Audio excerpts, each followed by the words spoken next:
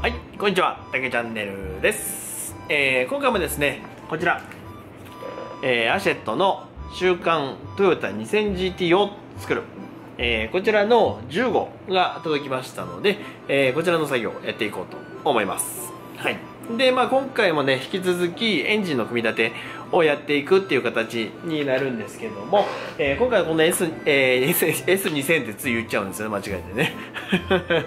えー今回のこの 2000GT、えー 2000GT、えーエンジン周りもね、かなり気合入った再現になってますんでね、えーその辺も楽しみかなと思いますんで、よろしければ最後までご覧ください。というわけで、やっていきましょう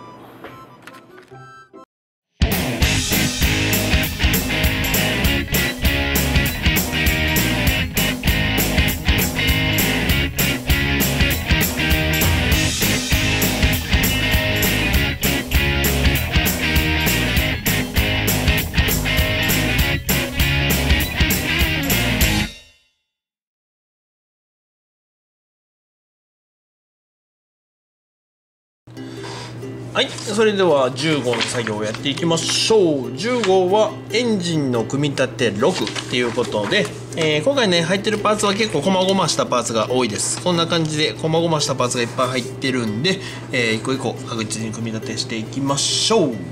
はい。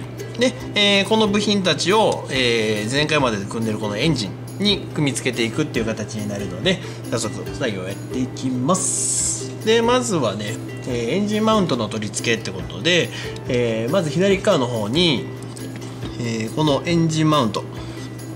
このエンジンマウントですね。これを取り付ける。これ裏側に L と R の刻印が入ってるので、え LR 間違えないように確認してあげて、えーここに。ここですね。ここに。取り付け。ギュッと。ここに。取り付けてこれはグッと刺さるほどのあれはないので、えー乗っけてあげたら、えーネジ GP で固定していきます。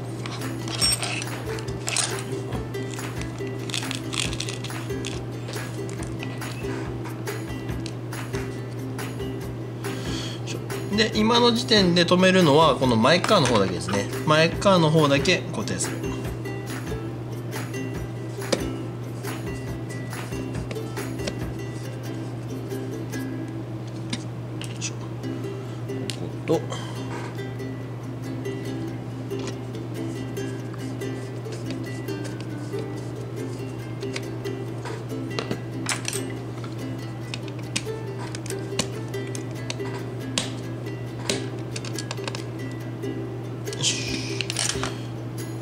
えーここの前側の2箇所を固定してあげたら次に、えーこのギアボックスマウントプレート、えーギアボックスマウントプレートを、えこことここですねに取り付けてあげます。これもね裏側に L って刻印が入ってるので、えこれの L の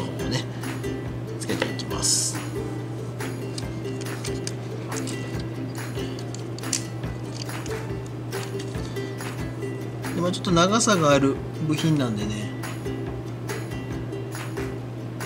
長さがある部品なので1箇所から一気に全部締めるんじゃなくてまずねこのネジ4本ともネジ4本ともネジ穴にかましてあげる。これ邪魔だな。ああ。ネジ4本ともをませてでそこから締め込んでいくっていう風にしましょう。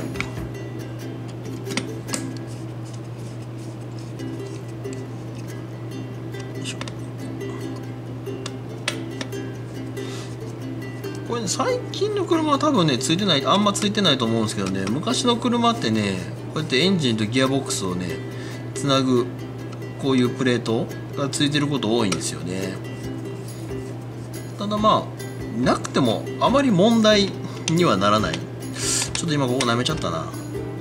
怪しいな。なくてもあんま問題にはならないので結構レースカーとかだとつけないことが多かったですね。86A86 もねここにこの同じようなマウントプレートというかステイみたいなのがあるんですけど、えー、僕はあのレースカーの時は外してましたね。で反対側も同じように取り付ける。反対側もまず前側の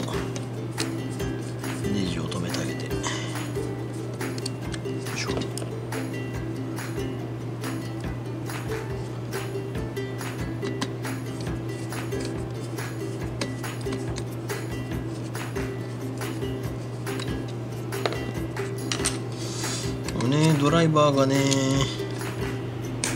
僕使ってるこのドライバーだと頭が大きすぎるんですよね。ちょっと使いにくい。失敗したな。でこっちも同じようにこのマウントプレートを取り付けると。こっちはね裏側に R の刻印が入ってます。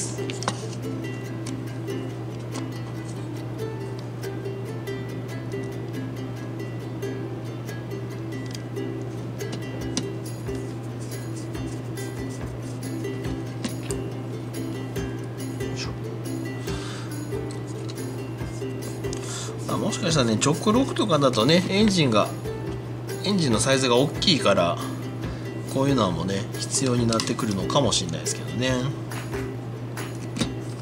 直4の 4AG の場合は特にあんまり意味はないわけではないんだと思うんですけどね。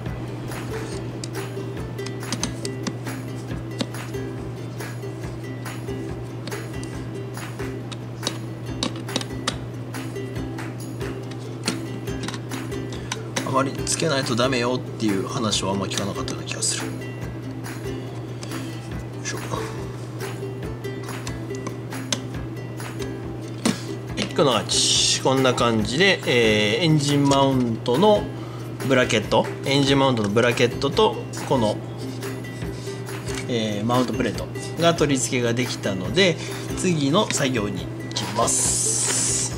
で次はここにエンジンマウントの取り付けかな。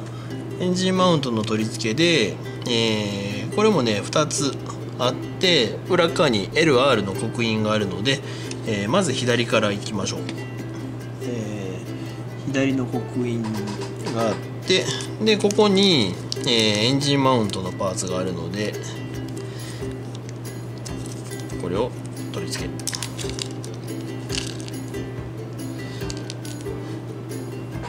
で、えーこれをネジ AM で固定するわけですね。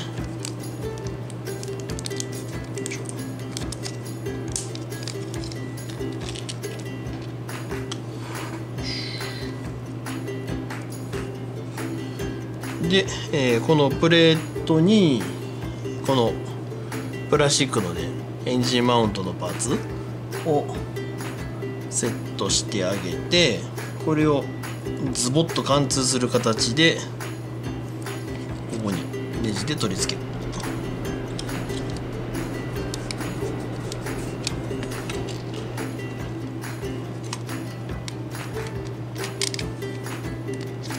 実写の場合はねここのゴムの、えープラスチックの黒いプラスチックになってる部分が実写の場合はここゴムなんですよね。ゴムになっててエンジンの振動を吸収するっていう形になってます。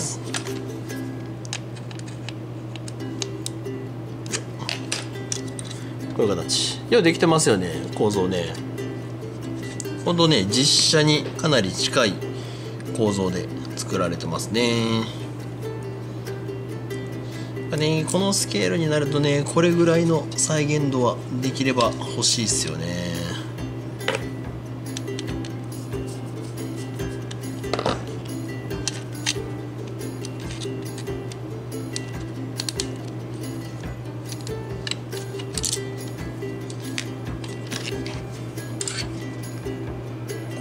こう塗装で穴が埋まっとる。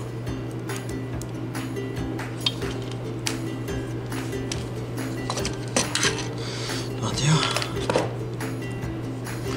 これで塗装でネジ穴が埋まっちゃってんですよね。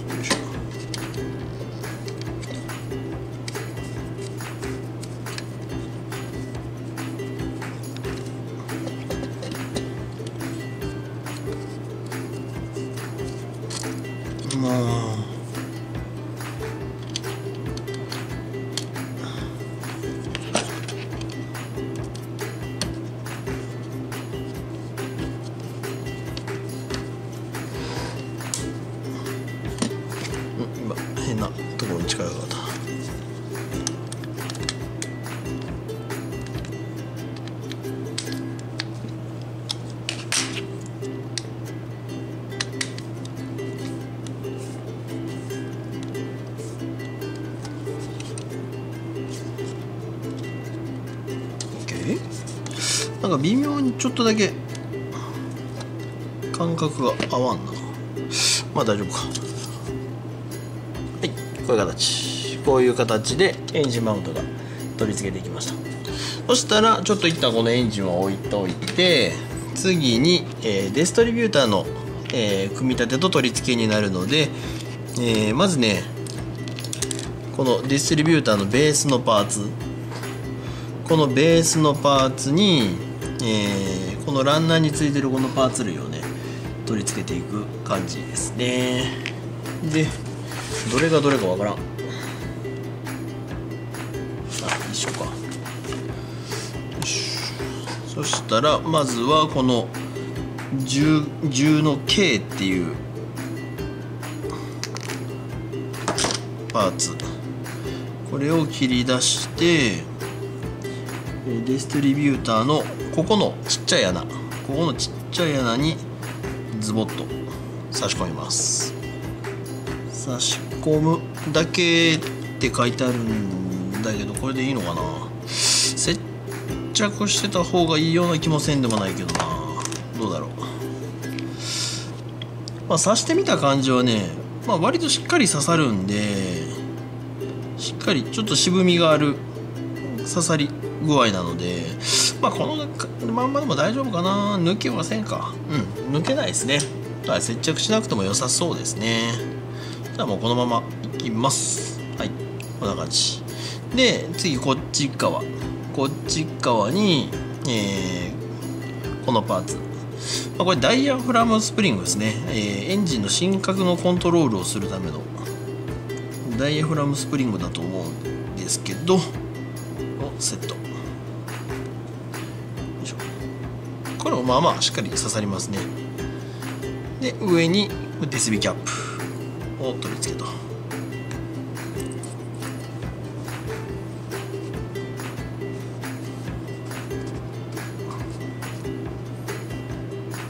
いしょ痛い。ここを押さないといけないから痛い。なんかちょっと奥まで入りきらない。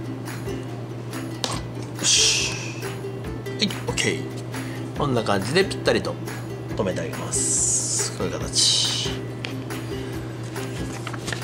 そしたら、えー、これをエンジンのフロントカバーのところ、えー、ここですね。ここに取り付ける。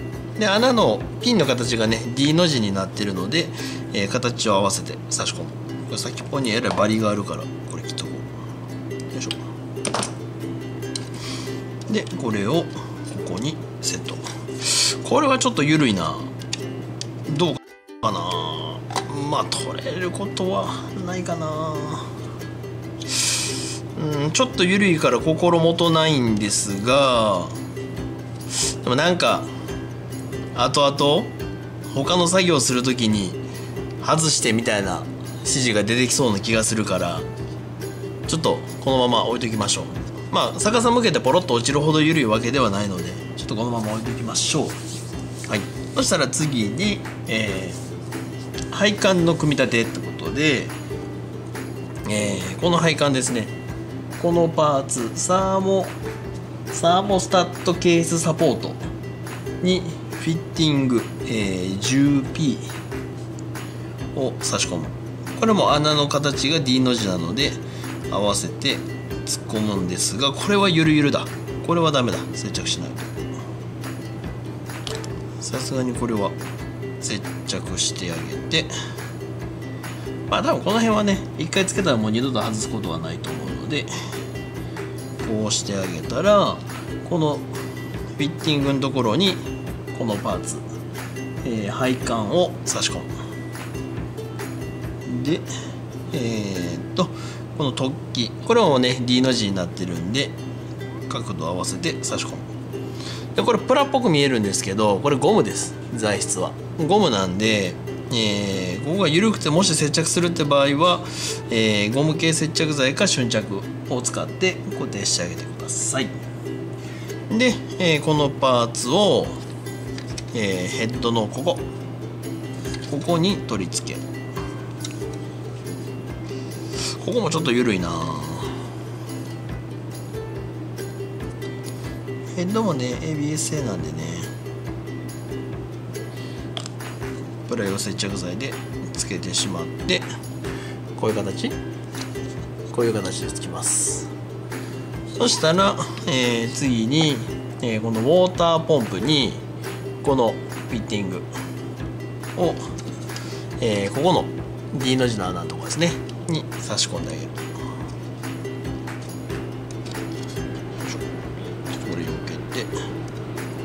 差し込んであげてこれもちょっと緩い。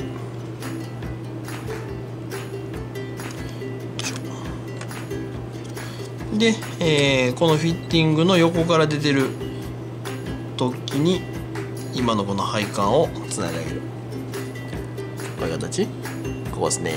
ちょっとシルバーのシルバーシルバーやから見にくいですけど。こういう形。で取り付けてあげます。はい。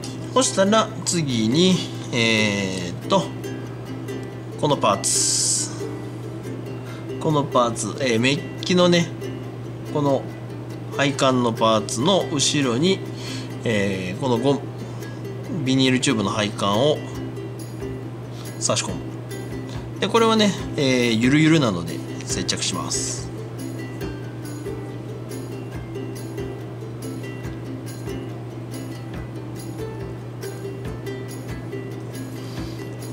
瞬着つけてここに刺す。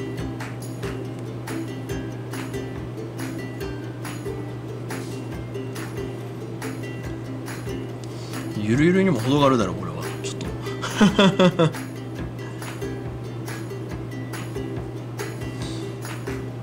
ちょっとねこれがねどこにつくかっていうのがね微妙。あのー、今の時点では分かんないんですけど、まあ、おそらくここだろうな。おそらくここにつくと思うんですけどね。こういう形でね。つくと思うんですけどでもこっち側の取り付ける箇所がないのでまあ後々ですね。後々取り付けるっていう形になると思います。はい。こんな感じ。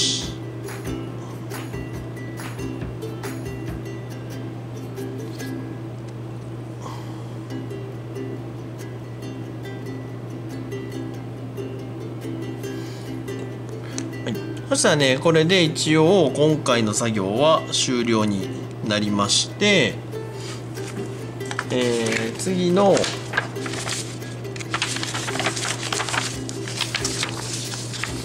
次の11号。次の11号ではエンジンの組み立て7ってことで、えー、キーマニのパーツとあとヘッドの一部あとキャブの一部かな、えー、その辺を組み立てていくっていう感じになるみたいなので、えー、また来週も作業をやっていきますので続きが見たいと思っていただける方はですね下のチャンネル登録ボタンからチャンネル登録よろしくお願いいたします。というわけで、えー、本日もご視聴いただきましてありがとうございました。